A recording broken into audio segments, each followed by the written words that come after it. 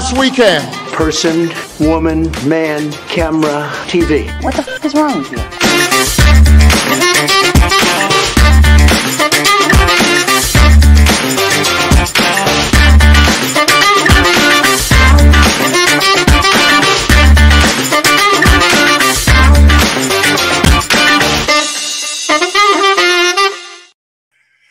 Welcome to uh, What the Franklin. I'm Chip Franklin, and it's great to have you here on this Tuesday. Um, boy, there's a lot to talk about today, and uh, I'm waiting for Brooke Binkowski to join us from Truth or Fiction, formerly of Snopes. But uh, as as is the case when you do these things live, sometimes they don't work out. She's not here yet, but we'll keep our fingers crossed. Still to come in the show today, uh, Mark Fisher will be with us. Mark is a senior editor at the Washington Post, an old friend of mine, one of the smartest guys in the business. He's been doing it for I don't know God, almost 30 years, maybe more. And he'll join us. We'll talk a little bit about what's going on with um, the Trump investigation and uh, Jack Smith, who is the latest to head up a special counsel as appointed by Merrick Garland and try to get to the bottom of all that. Um, we also obviously will take your thoughts and comments too. You can uh, join us too by putting, you know, right in the corner there, you'll see you can comment and we'll get to some of your comments throughout the show. We don't have phone calls like we used to, but this is fun as well. Um, a couple of things I want to start the show with. I want to talk about because they mean a lot to me. Um, when my kids were small, my brother-in-law owns a home in, in, a place called Provincetown, Massachusetts. And if you've never been there, it's um, it's kind of well, depending on what city you live in. In San Francisco, you might say Hill, uh, you might say um, Castro. Uh, in San Diego, you might say Hillcrest. That's where I live now. Uh, and, and all across the country, there are neighborhoods that have pretty much been exclusively gay for a long time. Provincetown grew up under the, the nose of Portuguese fishermen. Uh, they were the first people to settle there hundreds of years ago. And over time, uh, it was really amazing to see and really exciting to see uh, the town grow up. And, and it grew up as a, as a gay enclave. So when we were, um, my wife and I were young and our kids were born, we'd go to visit my brother-in-law up there. was a, it's a beach town and we take our kids. So my kids grew up seeing drag queens, seeing gay couples, seeing men hold men's hands, seeing women hold women's hands. In fact, we went up every year pretty much right around, uh, they call it Family Week. And it was really exciting. And uh, to see my kids, and I, I, bring this up obviously because of the shooting in Colorado and, and the heartbreaking uh, aspect to this. Um, and so there's a couple things I want you to see. This is uh, the, the, police department in Colorado Springs uh, talking about, this is going to be the best video you're going to see today. They're talking about um, the people who died and how to handle uh, recognizing them, their names, and everything. And and I think this, this is the best video, obviously, that you're going to see today. Listen up, watch this. We respect all of our community members, including our LGBTQ community. Therefore, we will be identifying the victims by how they identified themselves and how their families have loved and identified them. The first person I'll identify is Kelly Loving. Kelly's pronouns are she, her. Daniel Aston. Daniel's pronouns are he, him. Derrick Rump. Derrick Derrick's pronouns are he, him. You get it, right? I mean, that's the way it's supposed to be. Um, I was on Twitter, and Marjorie Taylor Greene, who is back on Twitter now, and um, you know, we could, we'll talk about that some other time. But uh, she retweeted a a, um, a piece by a guy named Jack Posobiec. He is, uh, I think I got his pronunciation of his name. I just see his name. And he wrote, Are we not supposed to talk about the U.S. Army major taking his family down to a local drag club for a night out? Yeah. What's so unusual about that? These are human beings. Why would you condemn people like that? My kids are great. My kids have grown up around people who are who feel free to express who they feel, who they are. I, I don't get it my friend Joe, who was on the show yesterday, she goes, Actually, I'd welcome a conversation about a U.S. Army major taking his family to a drag club. I'd love to ask Jack what exactly is wrong with that. And then, and then I'd like to ask him, why is it that he's so very threatened by a man dressed in women's clothing? Tell us, Jack, won't you? Love Joe. That's JoJo from Jerz. Check her out on Twitter. Um, so we had a lot coming up. Uh, later on in the show, um, Chris Titus, one of my favorite comedians in the world. He'll be with us. And just here's a little bit from his uh, his show and what you can expect. So I want you to stay with us. If you were supreme, Sean Ted Nugent Cruz Hannity, maybe you could walk the world with courage and calm and wouldn't be so scared out of your mind all the time you needed to carry an AR 15 into an Applebee's. I don't think a supreme being needs hollow point ammunition to protect his chili fries. Anyway, Chris will be with us in the second half hour. And as I mentioned, coming up in just a little bit uh, will be Mark Fisher, senior editor to the Washington Post. Um, this our next guest is is somebody that uh, I've known for a while. I don't remember exactly how long, but I've, I've always loved her work, and she's just done a great job. Back with Snopes, now she's with TruthOrFiction.com. Um, she is our uh, true seeker. She's nice enough to join us here on uh, the What the Franklin. Hello, Miss Binkowski. Hello. Uh, I seem to be. I, have I've got something going on on my end. I don't know why. No, you, you look see, fine. You look fine. I look all right. Okay, cool. Yeah, we'd like to see more of you, but that's fine. That's great. well, Been a while. I mean, maybe 20 while. years ago, but maybe not now. yeah. Then, did you and I, do we go back before California or do you remember? Because when I was San doing my Diego. show in Baltimore, I, I, think I know you from San Diego because I worked in San Diego radio for a long time. And uh, so I always kind of, you know, got invited to the parties for a while. uh, let me ask you this. So, how did you end up? You're a journalist. How did you end up working for Snopes and then Truth or Fiction? Because um, it's it, it's a really unique gig. I mean, it's kind of what reporters are supposed to do anyway, you know, um, right? And but you guys found this niche that was obviously important, and there's there's there's others out there, but I mean, you know, the one you're working with right now, maybe a little less known than Snopes, but Truth or Fiction's great. I love it. So how'd you end up there? And tell me what the job's like. Well, uh, it's changing now because the nature of the disinformation is changing. But until the for the last five or six years. So first of all, I started uh, in counter disinfo in 2015, and it was totally by accident. What happened was um, I saw that. So I've been looking for work for for like two years. I couldn't find a steady uh, gig because journalism, and because my specialty was the border and nobody wanted anything to do with border stories, border journalism, and the U.S. Mexico border, human rights violations there, uh, the sort of surveillance tactics that were going on. I had this conspiracy theory for years. It was my two beer conspiracy theory, and by that I mean it would take like two beers for me to start talking about it.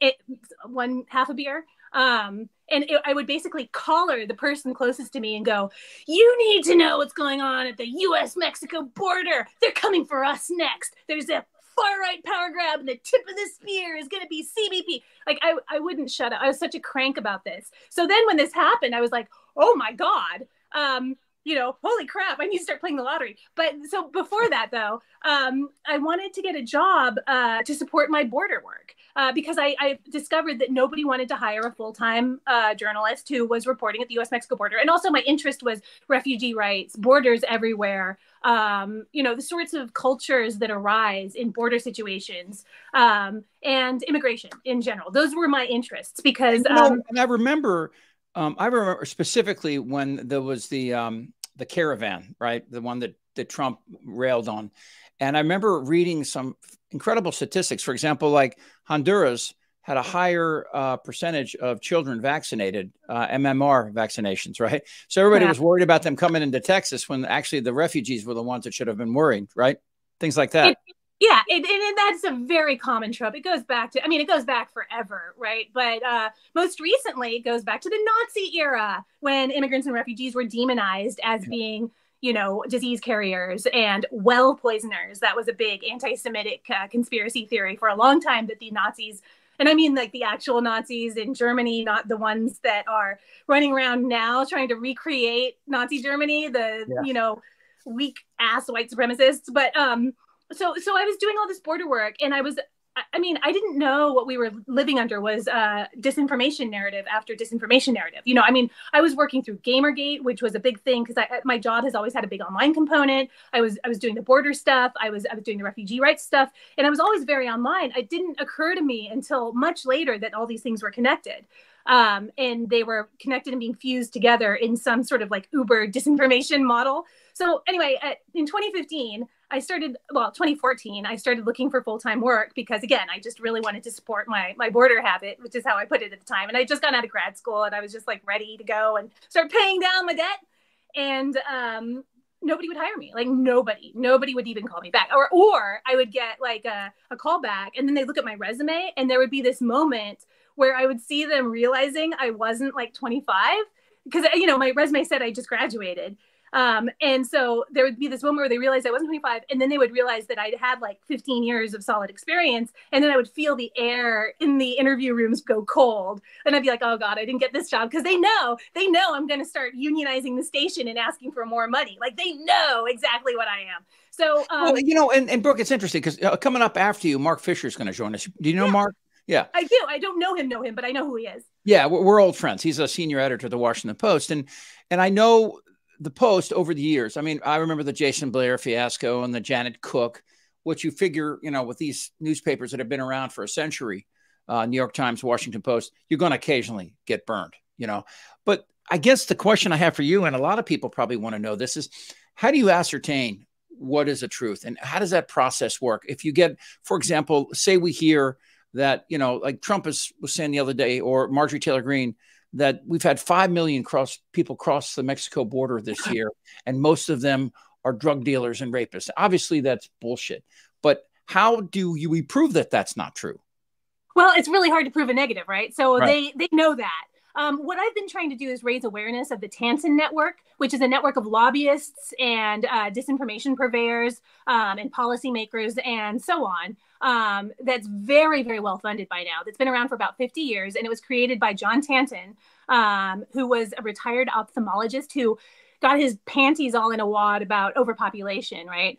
And right. Uh, so we started writing all these letters and typing them up and writing them. And I guess you can, you know, you can do a lot when you type up letters and send them around. Um, so in the 60s and 70s, or sorry, in the 70s and 80s, he started writing these letters and, and connecting people and asking for funds. And then at around the same time, um, Tom Metzger and David Duke, this is in 1977, 1978, uh, went to the U.S. Mexico border as part of this. For those who don't remember, David Duke was a former Klansman who ran for president, I believe. What state?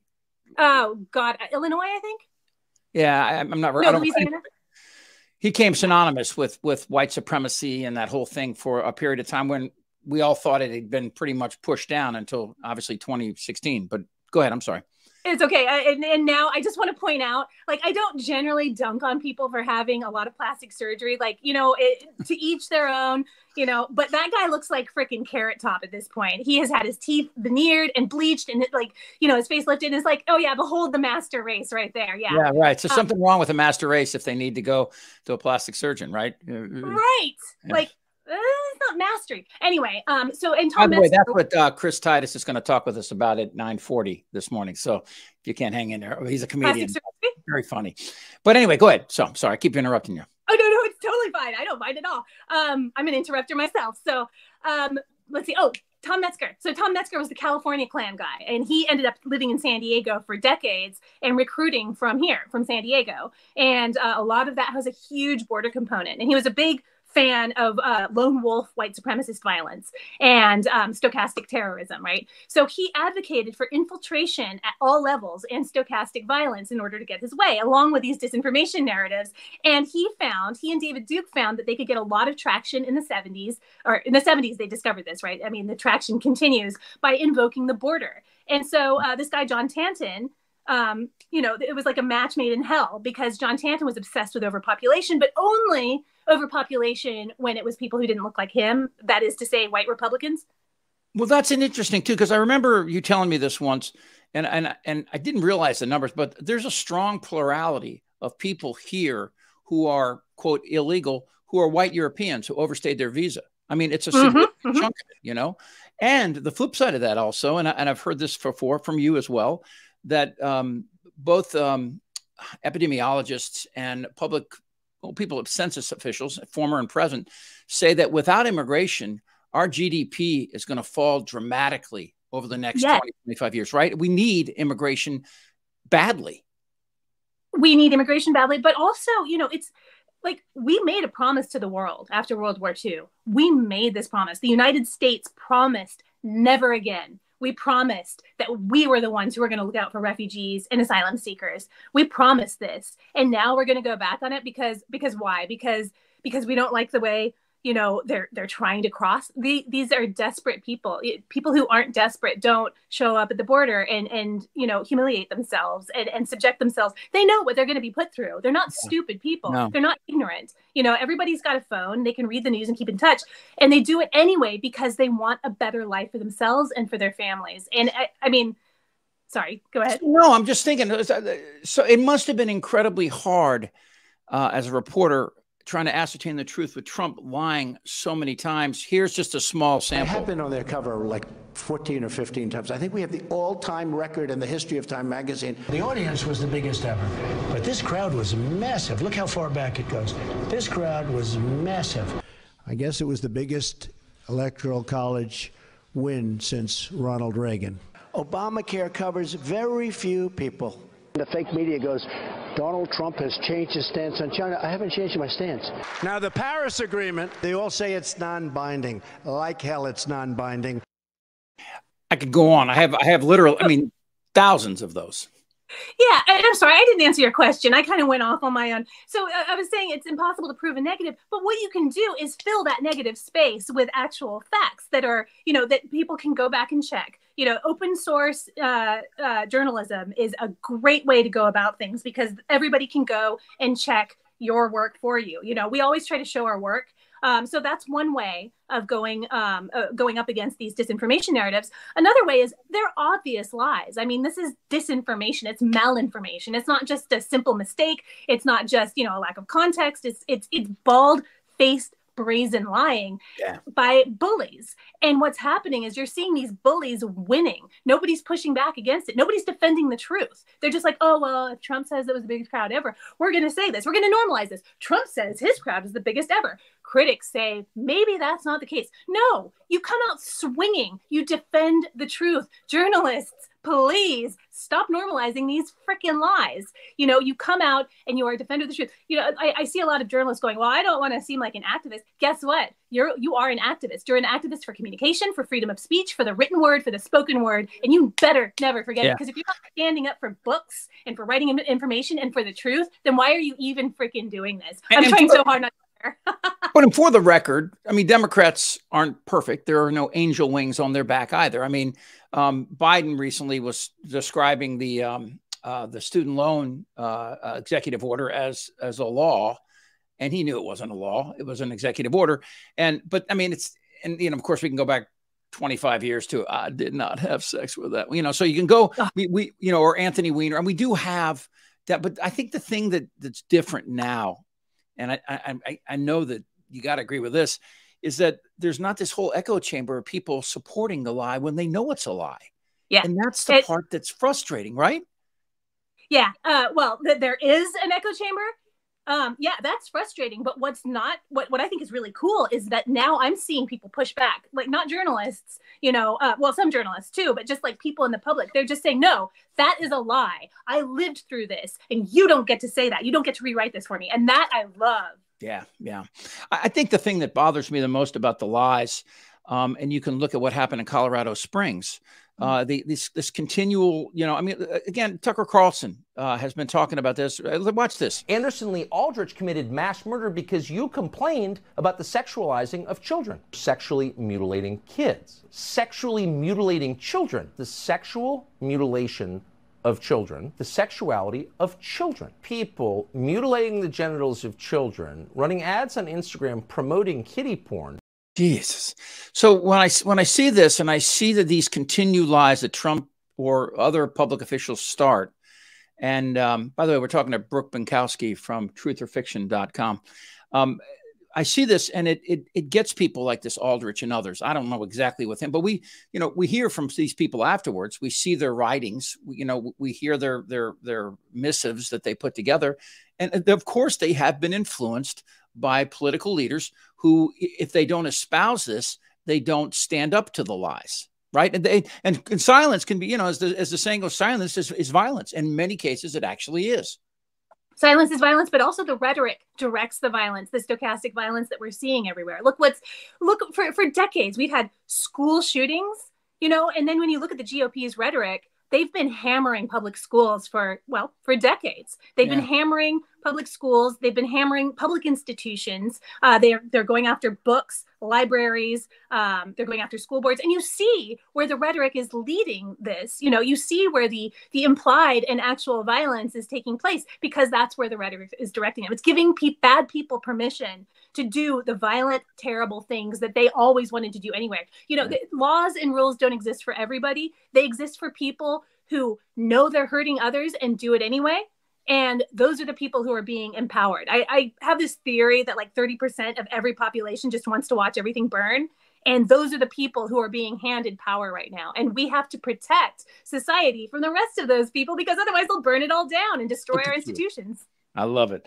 Will you come back please? Of course. Always for you I love to introduce people to you because they, you know, I, I, got a lot of comments already here where they love your energy, your enthusiasm, and your commitment to the truth. Coffee. Thank you. All right. You be well. Thank you. You too. Take care of yourself, Jim. Right. It's always great know. to talk Bye-bye. to you. Are you still in San Diego? Always. I don't think oh. I'm ever going to leave again because I love paying too much. Well, I'm here too. So we'll get together. Okay. Cool. That'd be awesome. All right. Thank you. Bye bye. Again, Brooke Binkowski from uh, truthorfiction.com. And uh, just, you know, that is that's going to be the future because now there's so many people and so many options and we've seen what elon musk has done with twitter allowing people to say whatever they want with absolutely no um, uh, ombudsman there at all I, I, don't know if there ever was or, or i should expect it um, our next guest is from the washington post where he's a senior editor and uh, one of those guys too, a hero. Uh, he, know, he, I don't want to make him embarrassed here, but uh, the Washington Post and their work in the past six years, I know I'm not speaking just for myself, have made a huge difference in getting us through this. And um, I don't say it enough to you, Mark, but you know, and to your colleagues, uh, we really appreciate the hard work you guys do. Thank you. That's much appreciated. A, can you give me some more volume there, big guy? Uh, let's see. Um, uh, it's okay. That's all right. No, no, I can. Uh, we, everybody can turn you up if they have a problem. They're going to hear more of me. Um, okay. First of all, that was uh, uh, that was truth or fiction and there's you know snopes and there's other groups. How diligent are you guys at the post and making sure everything that goes online or goes to to print uh, is as it's supposed to be? Well we try um, you know the the traditional ways of doing that um, for the print newspaper involved lots of people, lots of eyes on every story. And so there were layers of editors. One of the things that happened to all news organizations, particularly the big legacy news organizations over the last couple decades, is there were big cutbacks in those layers. So copy editors and uh, the, the, the, sort of third read, fourth read of every story, uh, that kind of fell away as the impetus became move fast, get yeah. stuff online. So uh, we went through a period where people just put stuff raw online, and that clearly was not good.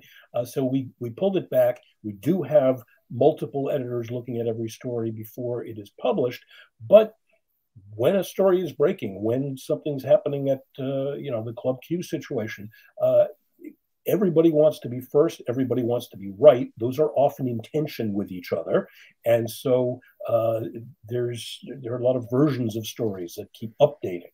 Um, it's not perfect, but it uh, we do try to make sure that uh, everything is checked at least a couple of times before it's published. Um, my wife used to live over in uh, Chevy Chase. Um, she was in a group house with a couple other girls next door to Ben Bradlee. and I would see him as walking his dog. And of course, Ben Bradlee, if, if you remember a few good men, he was like Woodstein, you know, give me another source, right? It was, it was the, the whole idea was it's like, I want to make sure that anything that leaves this building is, is as close to the truth as we possibly can be as, as human beings. Um, and I would always go up to him and, and thank him. And very, you know, he was, you know, he'd shake his head, he'd see us coming, and he goes, "You don't have to say anything," or something like that. He was a great guy, and I, I think about those characters. Um, today, you know, obviously getting the truth out in these, like you said, in a timely manner. Everybody wants to be first.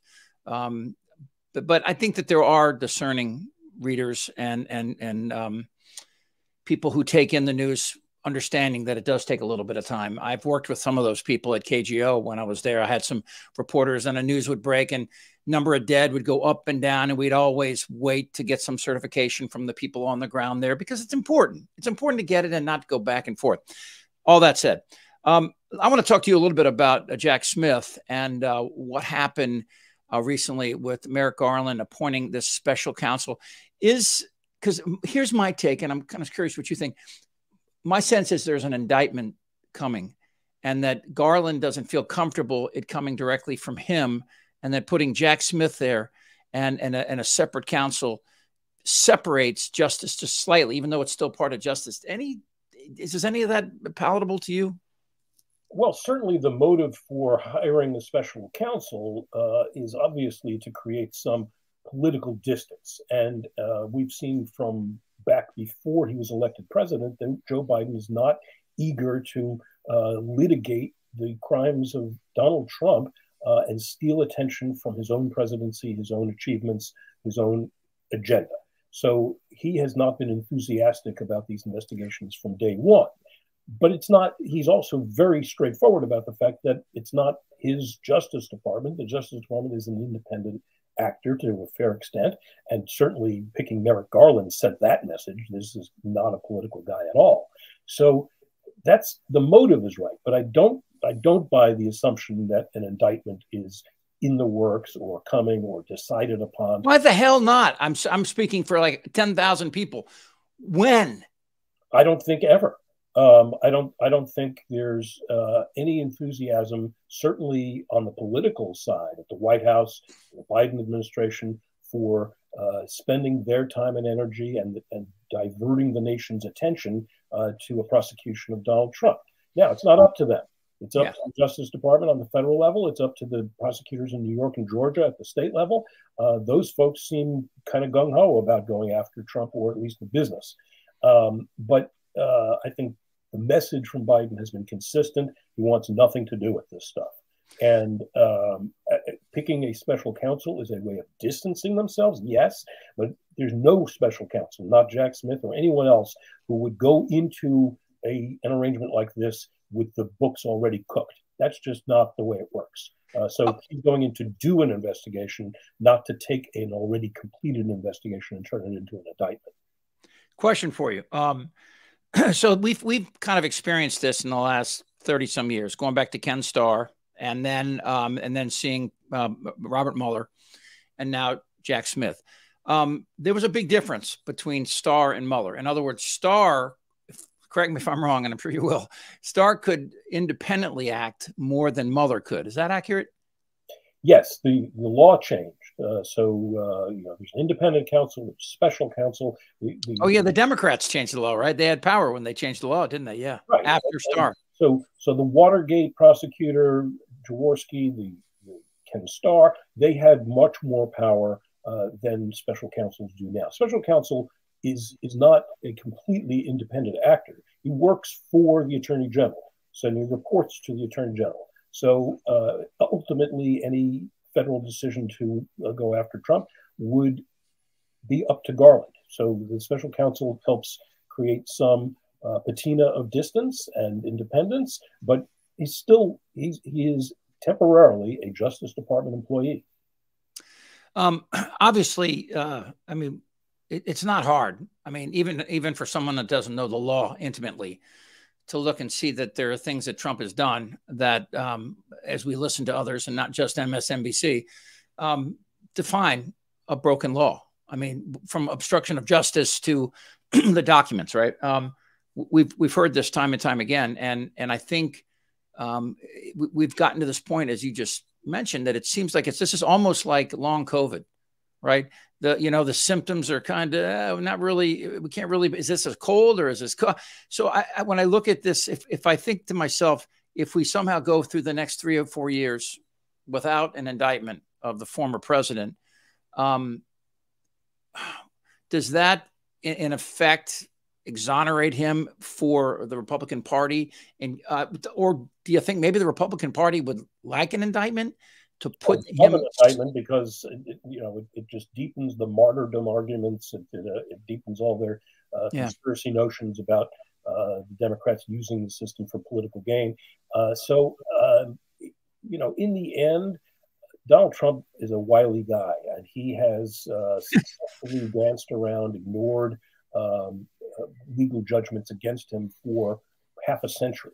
So there's no reason, uh, having spent a lot of time examining his life and his uh, writing a biography of him and going back and looking at all the original legal documents, the court cases going back to the 70s. Uh, this is a guy who doesn't pay his lawyers, doesn't necessarily tell the truth at depositions. He he really um, flips the bird at the legal system and takes great pride in doing so. So is he running scared and setting up shell companies and uh, perhaps running for president as a way of trying to shield himself? Sure. But those are just tactics that are part of a much larger bag of tricks that he has uh, that uh, have successfully shielded him from prosecution and responsibility for his actions for half a century. He has every reason to believe he will continue to be able to do that. And uh, for unrelated reasons, he's got the Democrats kind of on his side in as much as they don't want to give him center stage for this stuff. And they don't want him to suck all the oxygen out of the room. They've got an administration, they've got an agenda, they've got a, a 2024 political campaign, uh, and that's what they want to concentrate on, not the drama, the soap opera around Donald Trump. Perjury is a felony, right? Sure. Yeah. Okay. and that's just, that's exactly what Bill Clinton did to Judge Weber in that deposition, right? I mean, pretty. I mean, he wasn't convicted of or charged, but he, he lied about something that was he later admitted he lied, right? And he was president of the United States, and so was Donald Trump. And there's a tremendous and probably somewhat justifiable reluctance to put a former president of the United States on trial for something that, right. to some of the but, country, but, was seem petty.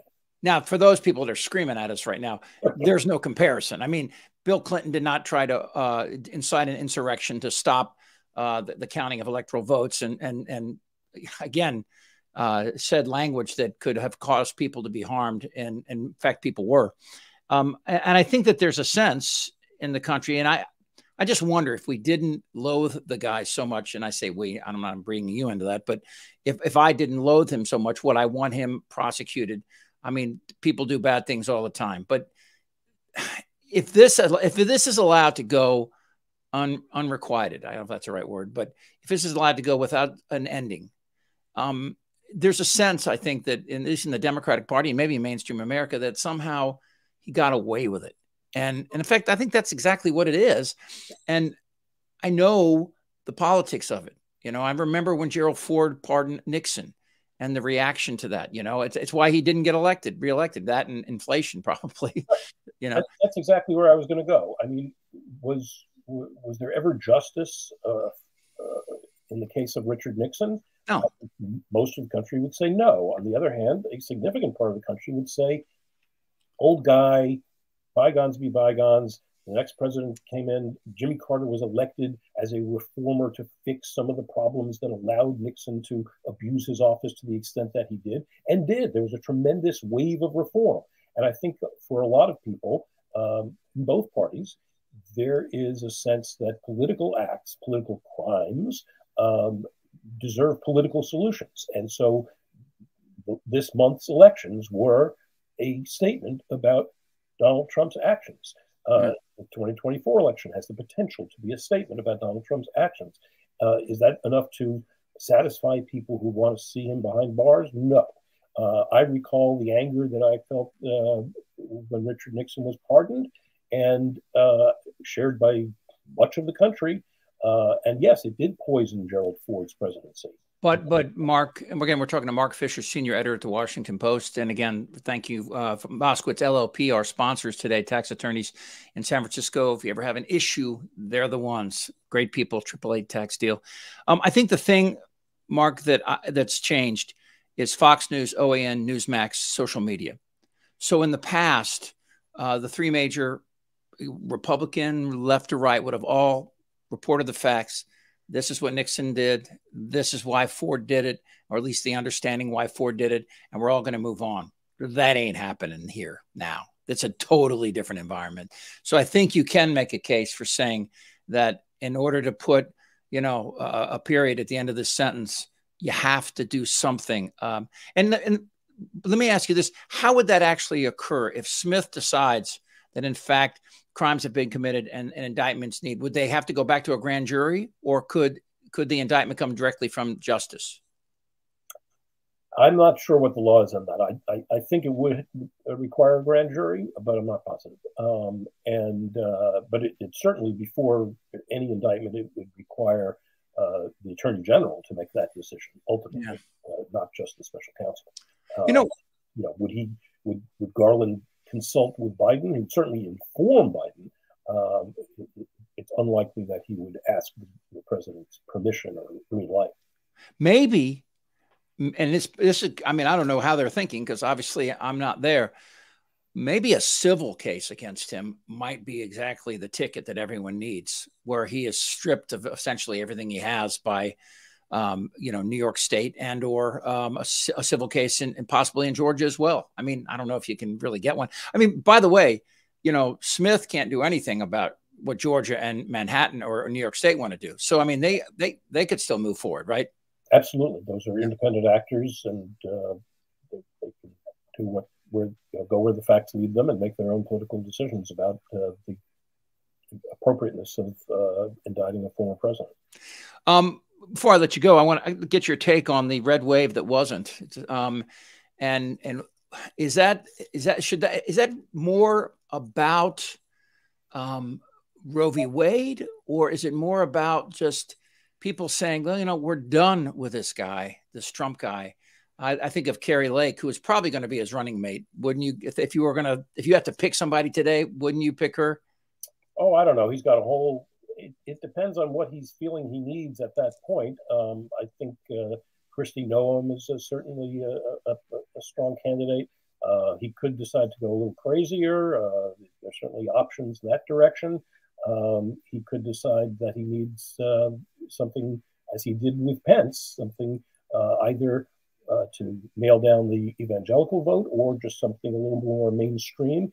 I don't think Pence was his, ever his choice back in uh, 2016. I think that was kind of pushed it on him. It was heavily suggested to him, but nonetheless, he, he went for it, and he he felt that there was the reason he went for it was he felt there was a need to uh, sort of reassure uh, evangelicals and moderates and uh, other folks who were had deep skepticism about him. And I think that motive might be even stronger this time around, were he to win the nomination. But uh, as far as the red wave, um, look, there, there, are certainly places where abortion was an important issue. Uh, I don't think it was determinative at all in in the general outcome of this election. I think uh, the exhaustion factor was much stronger. Uh, in, in, my own interviews with voters, in our polling, in the exit polling, uh, there's a very strong uh, theme of people saying they're, they're, they want folks to get things done.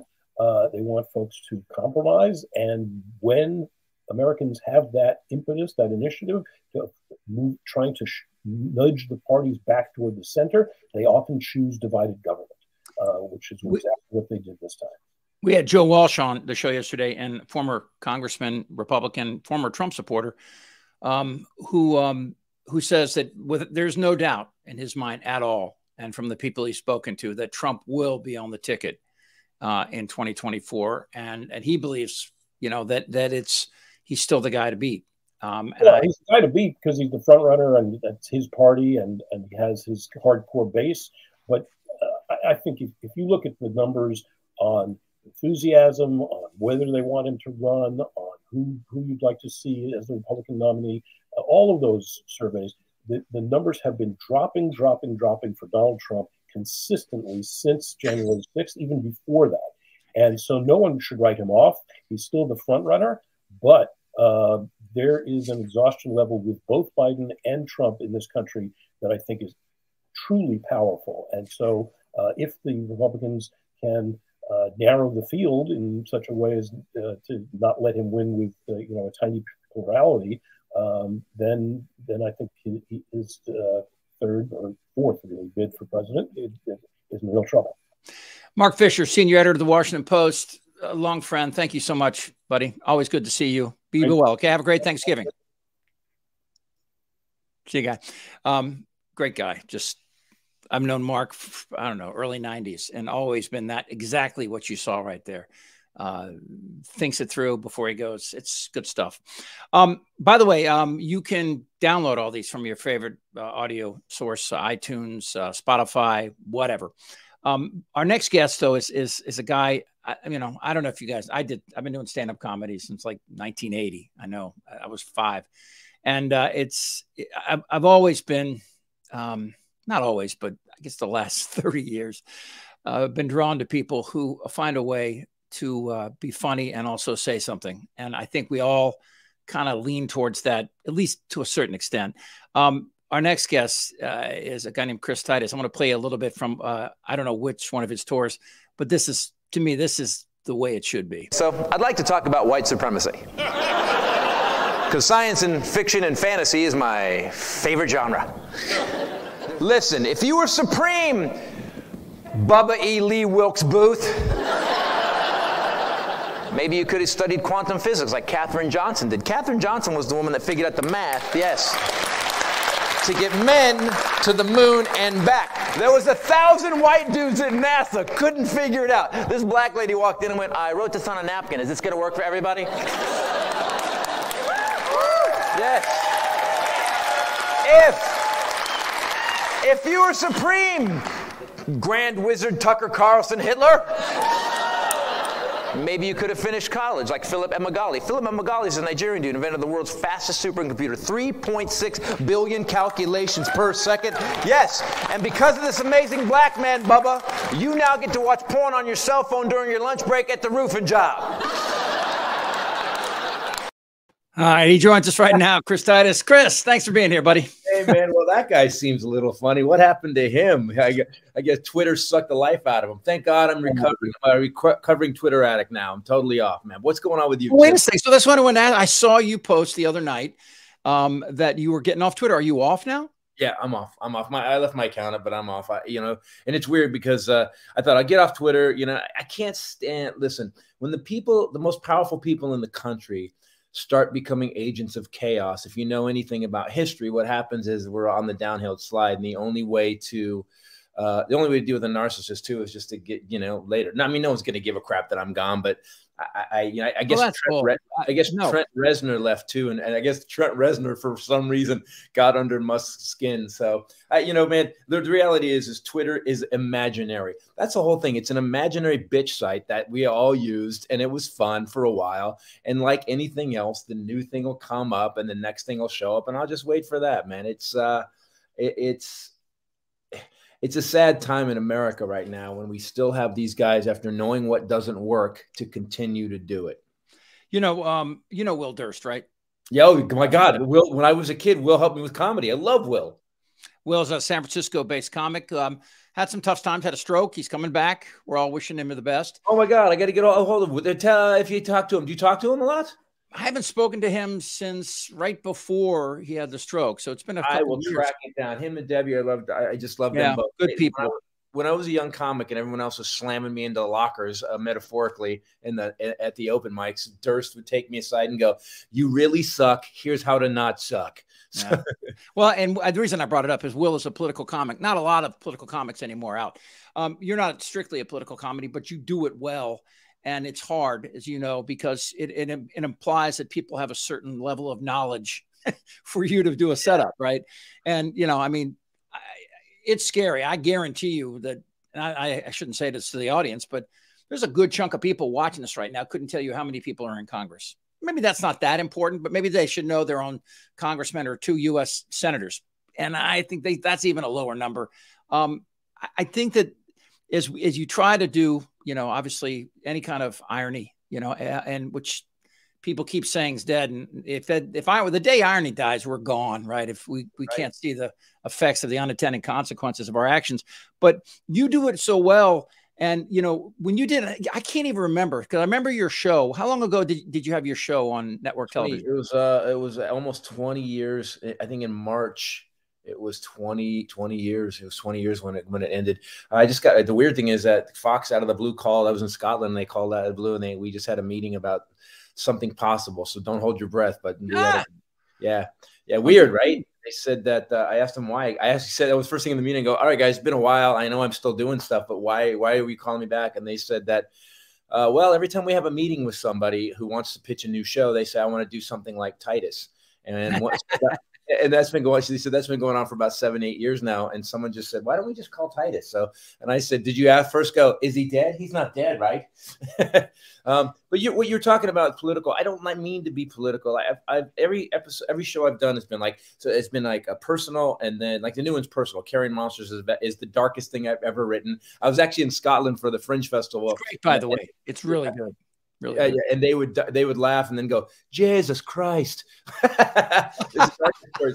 but I go, it goes. It usually is is um, personal, social, political, personal, social, political, and I, I think that um, my favorites are Carlin and Robin Williams. My favorite two of all time, uh, uh and uh, and Pryor too, because Pryor got to the heart of the matter when it came yeah. personal. And I think Carlin was the best at it. Although Carlin always took this thing where it was like at one point you were like, I'm not sure I like this guy. He's yelling at me. You know, it was like it was like that teacher that you knew was it was like a, a karate instructor that kept slapping you. You're like, yeah, I know I'm learning the right thing, but Jesus, quit yelling at me. Carlin was always uh, brilliant, and Robin did it with such heart. I, I uh, I just think it's part of a comedian's job. And when I love when people get mad, hey man, why don't you go back to your day job, bro? Why? Why you're not supposed to just go back to being funny? And you go, Mark Twain, Will Rogers, Mort Sahl, uh, uh, the best guys in the world talked about what was going on. And so, yeah, I don't have any problem with it. And if you don't like it, eh, go watch a guy that talks about his penis. Uh, you know, and it's, it's that's the truth. I mean, there is uh, there's a lot of people that have um, you know have uh, different needs and, and different desires uh, to make them laugh. I, I, I always thought though i mean and this kind of I, I, hate to even bring this up but i guess we should the whole woke culture um, i like punching up. I don't like punching down. Yeah. Um, i've known chappelle since he was 13 and i was disappointed um, about both the the thing with the jews and the thing with uh, trans. I'm not condemning him. I don't want him to lose a gig. I, that's not it but i just I, I have an opinion on it you know um, yeah. Carlin, I think, would have agreed with me. I think that, you know, punch up, man. There's a lot up there to punch at instead of us, you know, I mean, taking the easy route. Now, that said, you know, I mean, comedy's hard. It's yeah. it's extremely difficult. You know, I, my, my opinion about this is like I did a movie called Special Unit, which is based, due to the fairness that I wrote and I directed and I produced. Uh, due to the Fairness and Disabilities Act, the LAPD has to hire four handicap undercover detectives, and I used the word retard in the movie any you can do anything and and, and i i, kind of want i don't want to def, i want to defend dave in a sec in a, in a little in a little way.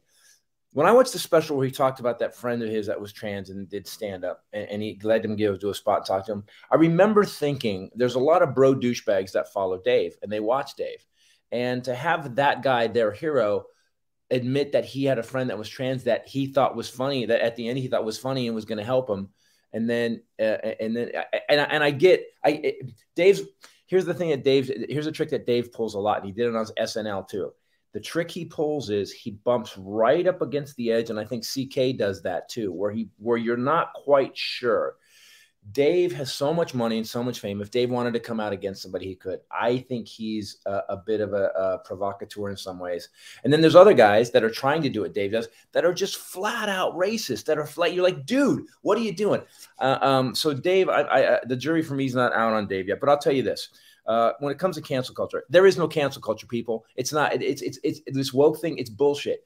I did special unit and nobody called me on anything. Do you know why? Because he, he, the audience will go. I do a, a I do a bit about my, my sister's suicide uh, in this new show, uh, and I do three jokes about the suicide after, and I get applause. It's it's it's just bad talent talking about something they can't make work, and and, and everybody has this thing. And there's there's there's some guys that I really respected that went far so far off the rails to the point where I don't I don't know what they're doing. They didn't used to be those guys. And here's what happened with this whole. Once Reagan killed uh, the um, fairness fairness doctrine, we lost pretty much any standards when it comes to media or anything. So you can do and or say anything, which is fine. That's freedom of speech. Good and bad, right? I mean, good I'm, and bad. Yeah, yeah. This doctrine's gone. For those that don't know, there was a period of time where if you were on the radio, like I did for like 30 years, you would have to bring on somebody to have another point of view. I would love it. I could not get conservatives to come on my show. I would love it if I was forced to do it and to come on and, and debate them, you know, but to your point, go ahead. Well, the problem is then you have to then you have to kind of come to a common ground. You have to have your business work. So now what they've done is they've went by taking that off and you don't have to have that. Your business can work by just spewing hate. And the, and there's some guys that I won't go on their podcast anymore because I'm like, dude, you you it's not even that you you have a different opinion. It's that you're inaccurate. And when you're a comedian and you're inaccurate, you don't know what it's like. You're just saying stuff to get people yeah. following that uh, following you or watching your show then you're just you're just playing into the media narrative. Comedians have a responsibility. Our job is to rattle it a little bit. Our job is to to point out the stupidity our, you know? And, i was flying recently and i ran into rob schneider in the airport. Yeah. Um, and we were both standing there waiting and i and i started to talk to him. If you guys don't know rob schneider you remember him from snl and he's really conservative trump supporter. And, Didn't you see? And, yeah and and i i said to him i go I said, you know, I, I, what happened to you, man? And I, I didn't mean I, that sounds provocative. I didn't mean. No, no, like, please tell me. I, have been wanting to ask him this forever. What happened? Yeah. And he said, he goes, he says, I go, I just woke up, and I'm like, you know. So you know what? He gave me a cell number, and we're going to talk. You know, he wants to talk, so I got to give him credit for that. I mean, as much as I don't like what he has to say, he has the mm-hmm. balls to come out and say, "I'll talk to anybody about it." Well, so, and Rob lost. I know some insights of Rob lost in the great uh, in the Great Recession, Rob lost a ton of money, a ton. Whatever he was in, he lost a ton of money. I mean, buildings that he had to sell. I mean, he lost a ton of money. The problem is that there's people are so. Uh, we have an education problem in the country right now. We have an education. We have a critical thinking problem in this country, which another thing Reagan did. Reagan actually um, there's an advisor that Reagan had that told him, "Hey, if a well-educated populist uh, is a dangerous pro- proletariat, you, you can't you can't right. manage them." And so Reagan started cutting. He made school in California expensive. He started cutting schools. He then he, when he became president, he God, I hope he didn't do it for that reason. Do you really? No, think- no, hundred percent, hundred percent. Because you have to remember, you have to remember what happened with Reagan is that Reagan Reagan was an actor, very wealthy actor for a long time. And when he came to California, my mother was mentally ill. Well, Reagan, you know, and, and you know, she was out of the mental hospital at that point. She was living somewhere else, but Reagan shut he down. Opened him up. Yeah, shut him down. Set him on yeah, the street. My wife, my wife works for Salvation Army sometimes. She volunteers there. And 90% of the people on the streets right now are mentally ill, but they have nowhere to go. They used to, but Reagan shut it down. And why did he shut it down? So he could give rich people tax breaks. We have 55 years or whatever it is of trickle down economics. And, and there's been 15 or 20 studies now that have just proved it was a fucking grift. It was a grift. And so, yeah. one more thing about these comics. So, some of these comedians have found out that if they pull really hard right and start really being right wing conservative psychopaths, they draw an audience and that audience buys a lot of merch because that audience isn't really the smartest audience. Hey, There's when I started in talk radio, I was I was I didn't know what I was doing. It was 92, 93. And and so I was kind of conservative, social, not socially conservative, but fiscally. I bought that whole rising tide bull. And uh, it, it, wasn't until the the recession in 2000, and then people started talking to me about, um, you know, what was happening with um, mortgage bonds and how what a what, what how this was just going to blow up, and that and then of course we all saw it afterwards. It was just like um, just like Michael Lewis said in The Big Short. Uh, they blamed immigrants and they blamed poor people, and these banks rigged in trillions, and people yeah. on the street lost jobs. Uh, we lost trillions of dollars of wealth in this country because of rich people screwing up, trying to be rich and not caring about the rest of the people. So, um, before you go, so tell me, when will we know about this Fox thing? Oh, I don't. I mean, I'll tell you what. Fingers crossed. I shouldn't say it. I shouldn't say anything. yeah, the second it happens, I'll, I'll let you know. Uh, by the way, I'm I'm on, I'm on tour with my new show, Carrying Monsters. It's not political at all. It actually it actually deals with the darkest stuff in my life. It's a it's about living between the tragedies. Because here's how here's how life goes. You ready? Birth, life, tragedy, life, tragedy, first orgasm, life, tragedy, life, tragedy, life, tragedy, last orgasm, death, and we hope they happen on the same day. So about that. But I'll tell you what, man, uh, we need to come up with a, we need to start talking to each other, uh, looking each other in the eyes and just figuring out why, you know, I'd love to, I'd love, I, when, I'm going to watch when Rob's on because I want to hear what he has to say. Because at one point, and the only thing, like, you know, the one of the best um, Democratic presidents of all time was uh, uh, Eisenhower. If you look what Eisenhower did, man, this dude, Eisenhower would be would be held up as a demon to no the doubt. right yeah. now. And, and he guess was, what? He hated Nixon. Hated yeah. Nixon. Yeah. Yes. We just vice need, president for that. We no, just yeah. need good men in power again. Again, I will tell you this: I'm not a Republican. I'm not a Democrat. I'm an actualist. Show me the facts. And the reason I vote Democrat right now is because they're the ones that use my tax money for me. They're the ones that actually bring the economy back up, and right. they're the ones that fix the problems. They don't blame trans kids, and they sure as hell, I mean, aren't aren't blaming immigrants in a country that was built on immigrants. Okay, there you go. That's my last thing. Uh, well, we, we were talking about that earlier. And when, when people talk about immigration and, and they talk about, you know, the borders, I, I just tell them this, and it's, it's census actually even confirmed it in 2020. If we don't get strong immigration coming in over the next 20 years, our GDP is going to plummet. We need people who want to come here and work starting out. And I live in San Diego. I live 20 miles from Mexico where I, where I am right now.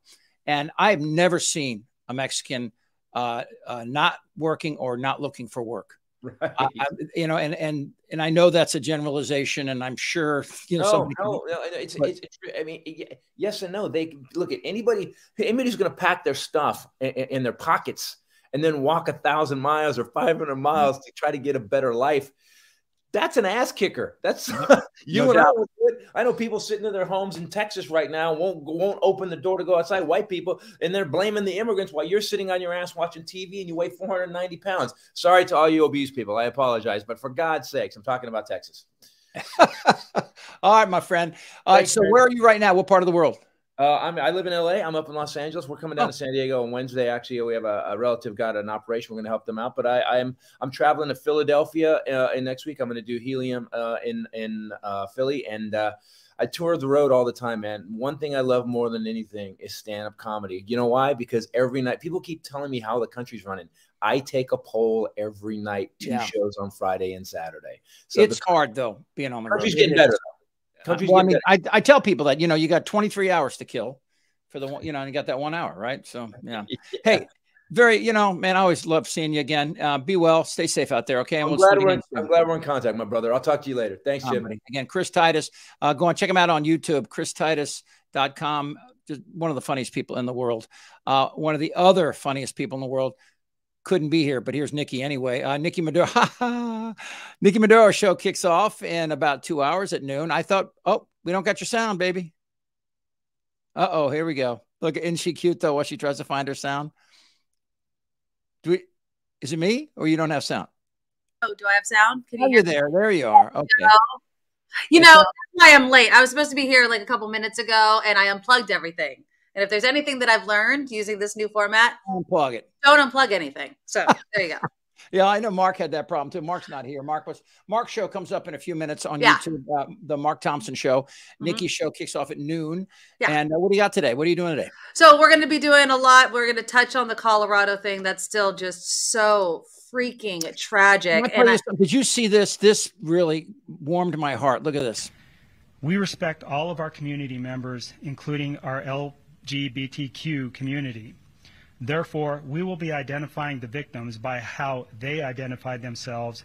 That was just. I loved it. I, I retweeted every single picture with all of their pronouns. And of course, you know, the idiots are out there, you know, oh, this woke BS or whatever. But I think that no, in their. Anderson Lee Aldrich committed mass murder because you complained yeah, right. Yeah. So yeah, I can't stand him. So yeah, we're gonna touch on that. We'll we'll get things a, a bit lighter. Um, I'm gonna be actually speaking to our friend Steve Moskowitz about Taylor Swift. So, because there's some tax implications. what time is that? I might uh, either sometime between noon and two. But I, have reached out to Steve. Um, there are tax implications for all you lucky people that spent uh, or plan to spend so much money buying the resale tickets. The sellers and the buyers might have oh, to pay. So you got to pay taxes on that money. Yeah. yeah exactly. By the way, this show and and Nikki show sponsored by MoskowitzLLP.com. Mm-hmm. Uh, incredible tax attorneys. They've helped me and they still help me and they help my friends. I had a good friend had not filed in eight years. Oh my god! Graphic designer he just got away. He had a, he had a business with his wife, and it got so he was freaking out. So I said, call him. So he yes. spoke to Liz. They had a long conversation. Guess what? When he put everything together, they owed him money. Wow. After eight That's years of not filing. Now there were some fees and stuff, but it worked. Anyway, so if, if you have any kind of tax issues, Moskowitz LLP or triple eight tax deal, 888 tax deal. So you sound like you got a big show coming up. I mean, I do. I always do. It's going to be amazing. Award winning. Fabulous. All right. Well, Tell everybody I said hi. You be well. I right? will indeed. I'll talk to you later. Bye. The Nikki Medoro Show. Find her on uh, YouTube. Same place, right down the right down the street from where I am right now. All right. Um, we're running out of time, so uh, let me um, let me do a couple things here. Uh, tomorrow's show, uh, John Nichols will be on with me from the Nation, and um, a couple other surprises. I, I, hopefully I'll get Rob Schneider on soon. I would love to have a conversation with him, even though it might be messy. We'll see. And uh, this is not just going to be a sounding board for uh, Democrats. We're going to try to get everything in here. We're going to start um, trying to get Richard Marx to come on and play a couple songs on the show. Uh, you know Richard Marx from the '80s, great guy. He's still working out there. He's great. And uh, trying to on Fridays, we're going to do something different. Uh, little, little, maybe a little bit of stand-up comedy. Get a bunch of people in here, try to create the room. Regardless, um, it's going to be a, it's going to be an interesting week. You guys have a great Thanksgiving. I know that it's um, uh, for some people there that may not have family and stuff. Find somebody, reach out, get together with somebody. Be safe, everybody. Until next time, I'm Chip Franklin. Uh, follow me on subscribe. By the way, I forgot to mention that the entire show. Uh, you can subscribe right here and uh, follow us. And we'll do this every day at nine o'clock right here. Be well. See you next time. I can handle things.